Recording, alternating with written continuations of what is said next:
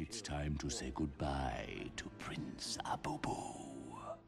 You gotta keep these park rangers on their tootsies.